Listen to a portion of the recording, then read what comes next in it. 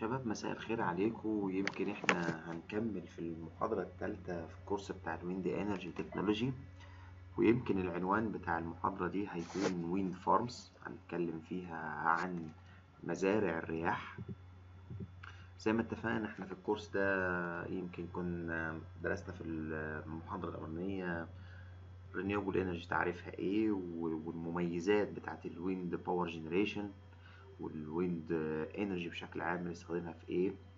درسنا الأسبوع اللي فات المعدات بتاعة ال aerodynamics وال effect بتاعها على ال wind turbines يمكن هنكمل في الموضوع ده بقى بس هندرس المرة دي الموضوع بتاع ال wind farms بعد كده هنبدأ ندرس ال wind turbines types ده من المحاضرة الجاية. هنبدأ نشوف الأنواع ال types من كذا ناحية من ناحية الميكانيكا ومن ناحية الكهرباء وغيره. وهنشوف في الأنواع دي دور ال power electronics جوه التشغيل بتاع تربينات الرياح. بعد كده هندرس موضوع ال penetration level وإزاي كل ما بيكتر ال penetration level بتاع ال wind energy كل ما ال power system لازم يكون التعامل معاها شوية مختلف. وهندرس ده بعد كده في آخر محاضرتين كده. الموضوع ده من ناحية ال stability ومن ناحية ال storage وهندرس ال grid code بتاع ربط مزارع الرياح بالشبكة وهندرس يعني على الكود المصري. ده الكتاب يمكن اللي إحنا بنشتغل منه بتاع دكتور الشرقاوي. يمكن الكتاب موجود على ال system. الكتاب ده اتعمل سنة 2015 دكتور الشرقاوي الله يرحمه دلوقتي لكن هو واحد من علماء ال wind energy الكبار يعني اللي أنا كان ليا الشرف إني اتلمذت على إيده. ده يمكن توزيع الدرجات في الكورس هيبقى عامل إزاي. المحاضرة دي يمكن هنتكلم في الأول عن ال effect بتاع ال height على ال wind energy ويمكن إحنا درسنا الموضوع ده قبل كده بس هنراجعه تاني وهنبدأ ندرسه بطريقة مفصلة. بعد كده هنتكلم على فوائد والمشاكل بتاعت ال wind farms لأن أي حاجة في الدنيا ليها مشاكل زي ما هنشوف دلوقتي وكمان نتكلم إزاي نقدر نعمل sizing بقى لل wind farm. ونبدأ المحاضرة بتاعتنا بسؤال يمكن كنا جاوبنا عليه في مادة ال renewable energy application قبل كده لكن هنجاوب عليه تاني. إيه هل اختلاف ال height هل اختلاف طول التربينة بيأثر على كمية ال power اللي خارجة منها؟ هي محتاج بس أفكركم الأول بقانون كده كنا درسناه قبل كده. إحنا كنا قلنا إن ال velocity دايما أو سرعة الرياح دايما مرتبطة بال height أو بطول التربينة قد إيه بمعنى إن إحنا عارفين إن V2 على V1 بتساوي ال H2 على ال H1 لل power alpha وقلنا إن الالفا دي بتتغير حسب طبيعة الأرض أو المكان اللي بتتعمل أو بتتحط عليه التربين يعني الأرض الزراعية طبعا هتكون غير لما بتتعمل جوه البحر غير الأرض اللي هي بتبقى ناشفة غير الأرض اللي بتبقى فلات غير غير غير كلها أنواع مختلفة. طب إحنا عارفين كويس إن الباور في اتنين لا في واحد. يمكن من القانون اللي درسناه المرة اللي فاتت إن هي بتتناسب مع سرعة الرياح. sorry دي V اتنين over V واحد. cube إحنا شفنا في القانون بتاع ال aerodynamics قلنا إن ال power تساوي half rho A V cube لكن كل دول ثابتين ده ثابت ده ثابت ده ثابت. الحاجة المتغيرة هي ال velocity بتاعت الهواء. فإذا ال power بتتناسب مع ال V cube فمن ده نقدر نستنتج إن ال power بتتناسب هي كمان مع ال height بتاع ال hub cube وهنا هنحط الألفا فإذا نقدر نقول إن P اتنين على P واحد بتساوي H اتنين على H واحد power three alpha طيب ده يمكن كما ذكر يعني في ال reference اللي إحنا شغالين منه الموضوع. والألفا هنا قلنا ليها قيمة حسب المكان اللي بنتكلم عليه طبيعته إيه. لو open terrain مكان مفتوح حاجة لو مدينة كبيرة حاجة تانية لو لو محطوط على أرض فيها مية خفيفة هيبقى ليه قيمة تانية. طبعا بيختلف التطبيق. يمكن أغلب القياسات اللي بنبقى واخدينها primary لل heights أو لل powers بتبقى عند height 100 متر لأن دي الحاجات أو القياسات اللي بتبقى محطوطة عند المطارات وغيره يعني. فإحنا لو عايزين نطلع الفرق بقى لو جبنا تربينة طولها آه، مثلا 300 متر أو 400 متر أو whatever هتبقى عاملة إزاي؟ ال power بتاعتها بنشوف ال power اللي كانت موجودة عند ال 100 متر وننسب الموضوع. فنقدر نحسب من خلال القانون اللي ظاهر قدامكم ده آه، ال power اللي هتطلع عند ال 300 متر هتبقى عاملة إزاي. ده يمكن سؤال بسيط كده يوضح لك الموضوع. بيقول لك wind power density at 100 meter is 2.5 kilowatt per meter square دايما power density يعني ال power لكل متر square when wind speed is 10 meter per second. Compute the wind power density at 50 meter in open terrain. تمام؟ هنطبق القانون بشكل مباشر. هنقول P2 على P1 هتساوي H2 على H1 power 3 الحقيقة هو هنا محدد لك إن المكان اللي هيتعمل فيه open terrain والالفا في الحالة دي بتساوي 0.143 زي ما هو ذاكر هنا في المكان وده بيبقى given في المسألة لو جه سؤال زي ده. فإذا P2 هتبقى equal P1 هو بيقول إنها 2.5 مضروب في H2 ال height اللي هو عايز يحسب عنده كان 50 بينما ال height اللي هو مطلع عنده القيمة كان 100 power 3 في 0.143 تطلع الإجابة بتساوي 1.86 كيلو وات per متر square منتهى البساطة تعويض مباشر في القانون آه، طبعا إذا لم يذكر المكان اللي هتتحط فيه التربينة فأنت تقدر تفترض الألفا دي بأي قيمة أنت عايزها وتفترض المكان اللي أنت بتعمل design ليه يعني. طيب ده كان الموضوع الأولاني. إحنا كنا بنتكلم عن ال height في الموضوع دوت ويمكن الموضوع بمنتهى البساطة إن إحنا عارفين إن السرعة بتتناسب مع ال height وال power بيتناسب مع تكعيب السرعة بتاعة الرياح. فإذا يبقى ال power بيتناسب مع آه، تكعيب سرعة ال height مع الأخذ في الاعتبار المكان اللي بتتحط فيه التوربينة. طيب نيجي للموضوع التاني بقى وهو الأهم والرئيسي النهاردة وهو موضوع ال wind farm يمكن موضوع ال wind farm ده من أشهر المواضيع ويمكن دايما محدش بيدرس إنه يعمل تربينة لوحديها. لا غالبا في أغلب التطبيقات وأغلب ما بنشوف بنشوف الصورة اللي قدامكم دي إنه بيبقى فيه زي آه، مزرعة رياح فيها مجموعة من التربينات مع بعض. والسؤال يجي ليه ليه إحنا بنعمل كده؟ يعني ليه إحنا بنحط أو ليه أغلب الناس لما بتيجي تعمل بتحط مجموعة من التربينات مع بعض في مكان واحد؟ اولا ده بيسهل الربط بالشبكة زي ما هنشوف دلوقتي الفوائد. آه ثانيا أنت دايما لما بتعمل مشروع مركز في مكان واحد ده بيبقى أرخص لك من لو تعمل تربينة لنفس عدد التربينات في أماكن مختلفة. ثالثا بيسهل عملية ال cabling التوصيلات الكهربية بالشبكة وغيره. آه، رابعا بيطلع كمية power نسبيا بتبقى كمية power كبيرة يعني. في عيوب في عيوب طبعا. لكن المؤكد إن ال wind farms دي من من أكتر المشاريع الناجحة في مجال ال renewable energy والأكثر انتشارا. عندنا هنا في مصر يمكن من أشهر المحطات محطة الزعفرانة اللي موجودة على الطريق بتاع ال- يعني الزعفرانة والطريق اللي هو اللي بيوصل للغردقة. وفي محطة جبل الزيت. الحقيقة في مجموعة تانية من المحطات بس دول يمكن أشهر آه، اتنين.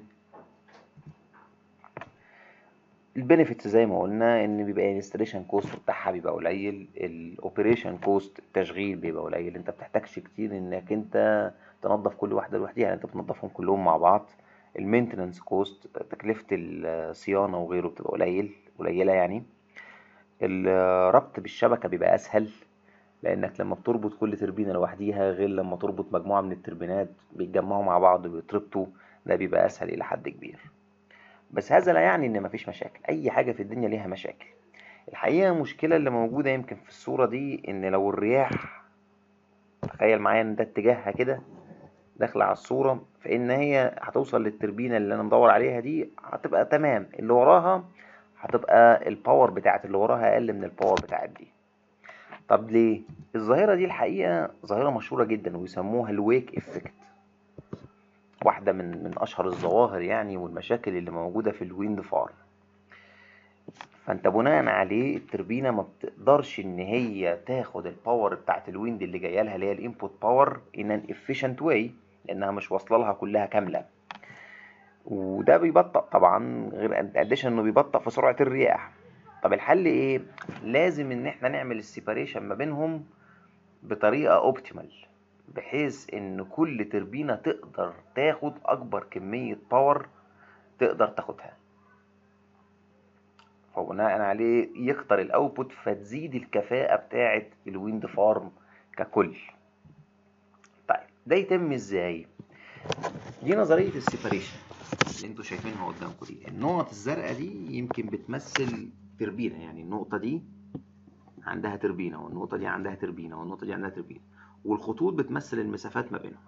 طبعا واضح إن هم هنا محطوطين على شكل square هيبقوا خمسة في خمسة يعني خمسة طول وخمسة عرض. ال D ده اللي هو ال separation المسافة ما بين كل تربينة والتانية. بس إحنا مش عايزين نسميه separation لأن في حاجة اسمها separation factor. separation factor ده هي المسافة ما بين كل تربينة على ال two R. ال R ده اللي هو ال length بتاع ال blade الواحدة اللي هو ال radius بالبلدي كده بتاع ال blade الريشة الواحدة للتربينة طيب إيه اللي دخل المسافة بين التربينتين بال radius بتاع التربينة؟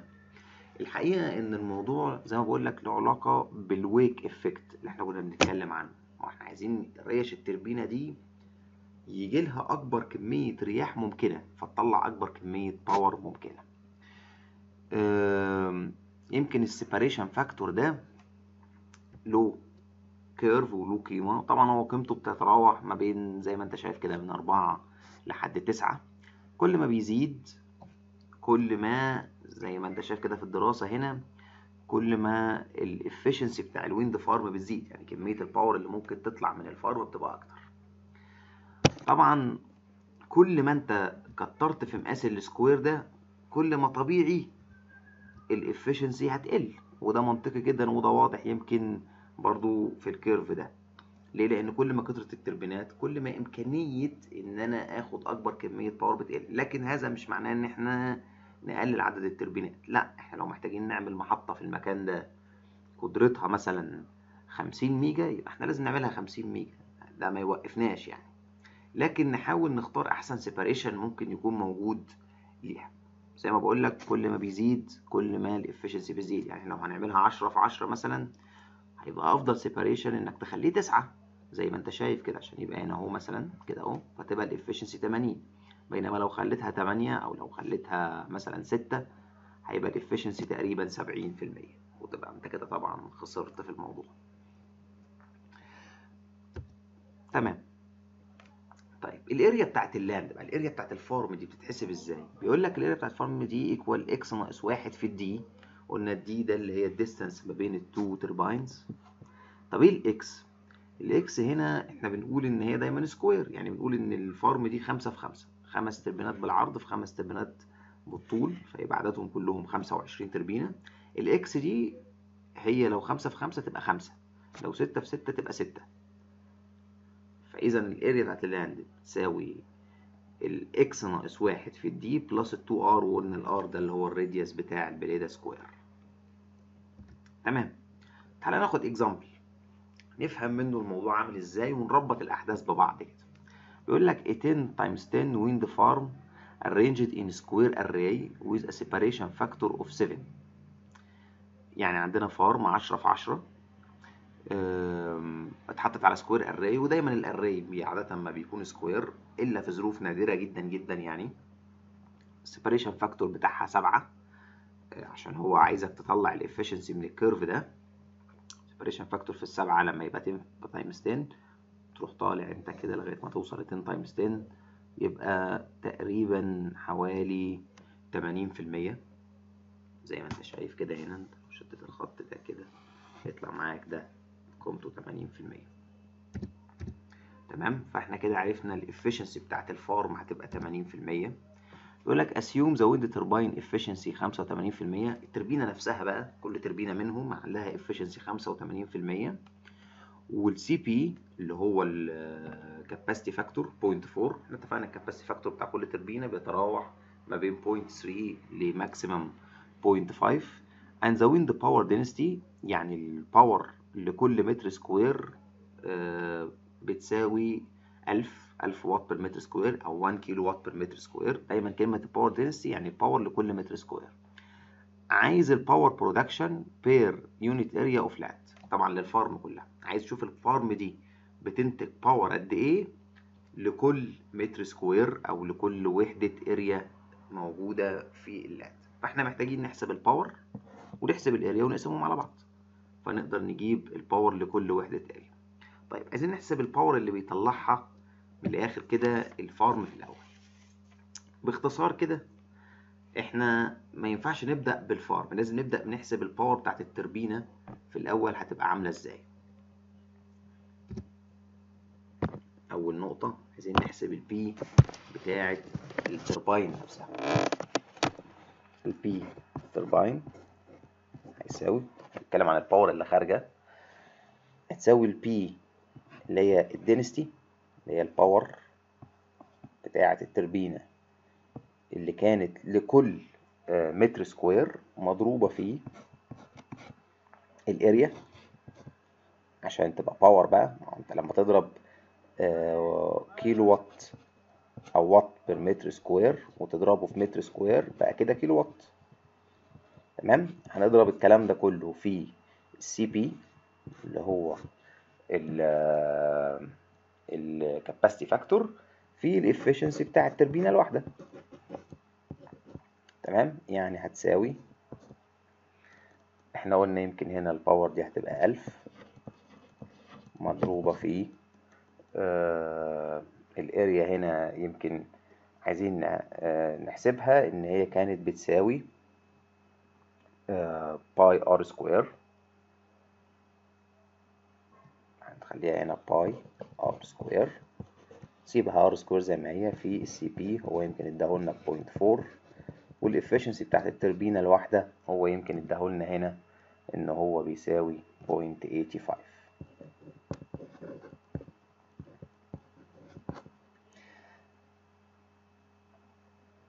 ممكن نحسبها وممكن نسيبها كده ونكمل المسألة للآخر.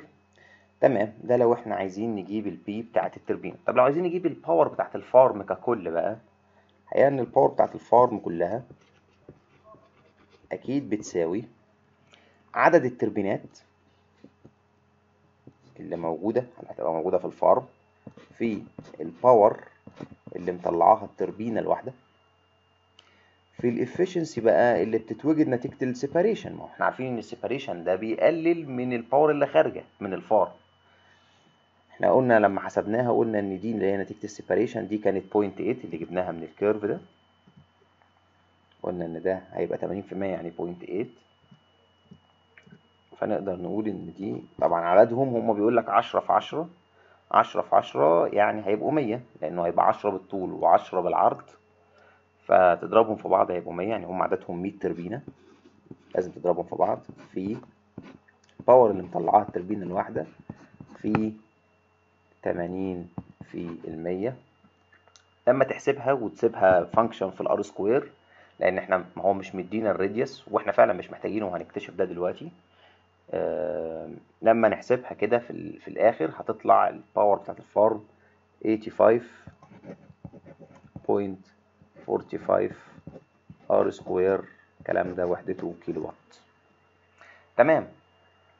إحنا كده جبنا ال power بتاعت ال farm عايزين نجيب ال area بقى علشان نقدر ان إحنا نقسم ال power على ال area هو قال لك يمكن في القانون إن ال area هنا بتساوي X ناقص واحد في ال D plus 2 R كله square قلنا ال X هنا هتبقى بعشرة لأن هو بيقول لك عشرة في عشرة. فال area بتاعت ال land هتبقى equal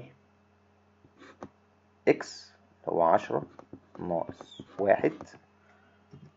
كده بقية القانون بيقول لك في D دي اللي هي ال distance ما بينهم. إحنا قلنا إن D بتساوي 2 في R في ال S إن ال S يمكن عارفين قيمته لأن هو قال لنا عليه إن هو بسبعة. فهنقول إن D بتساوي 14 S إحنا هنا هنعوض عنها. ب 14 آه sorry 14 R لأن إحنا عارفين إن ال S هي اللي بسبعة في اتنين في سبعة 14 يبقى 14 R plus 2 R square plus 2 R كل ده طبعا هيبقى square هتطلع في النهاية قيمتها بعد ما تحسبها كلها على بعض كده هتطلع القيمة بتاعتها 1 6 3 8 4 R square فكده أنا جبت ال area وجبت ال power هو عايز ال density بتاعت أو عايز ال power production لكل unit area فأنا عايز أجيب دي هرسم ال P بتاعت ال farm على ال area بتاعت ال land كلها. يعني هقسم الرقم ده اللي هو 85.45 R square طبعا ده بالكيلو وات. ممكن عايز أخليه بالوات عشان أسهل أخليه في 10 power 3 على 16384 R square R square هيروح مع ال R square يطلع في الآخر بيساوي 5.2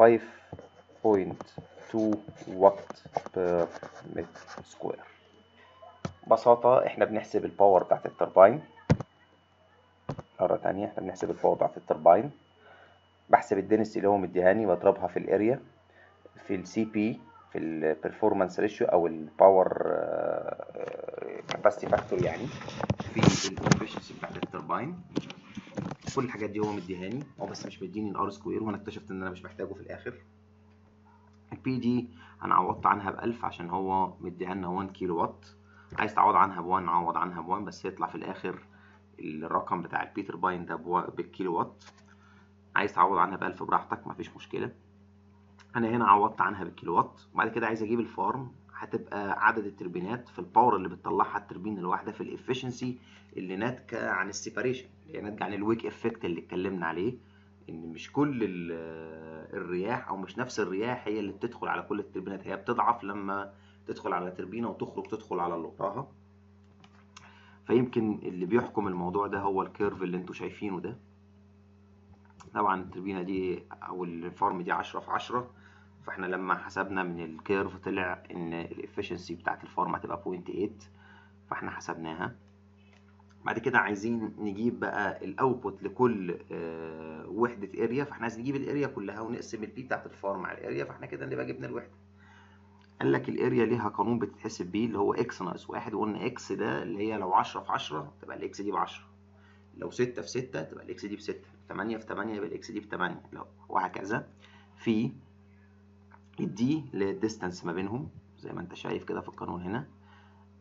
ما بين two turbines إحنا قلنا يمكن ال distance أو ال separation factor بيساوي D على 2 R فتبقى ال distance بتساوي ال S في ال 2 R طبعا أنا ما عنديش ال R فأنا اللي هقدر أعمله إن أنا زي ما أنا جبت كده هعوض عن ال S بالسبعة إن هو قايلها لي إنها سبعة separation factor فهيبقى دي بتساوي 14 R زائد 2 R ال R ده موجود في القانون زي ما أنت شايف كده. كل ده square هنشتغل الموضوع هيطلع القيمة بتاعته عاملة كده. عايز أجيب بقى ال power لكل وحدة area باخد ال farm وأقسمها على ال area لو عملت كده هتلاقي إن ال R square طارت مع ال R square بس إحنا عادة ال power لكل وحدة area ما تتحسبش بالكيلو وات بتتحسب بالوات للمتر square هقسم ده على ده يطلع 5.2 وات per meter square ده يمكن الحساب بتاعها كان عامل إزاي. أنا في النهاية بشكركم جدا. الدرس ده الحقيقة مهم قوي أتمنى إن تكونوا استفدتوا منه. وفي حد عنده أي استفسارات أو حاجة ده الإيميل وأنتوا تعرفوا توصلوا لي كويس جدا. عن طريق الواتساب أو بأي طريقة أنا يعني عمركم في أي أسئلة. شكرا.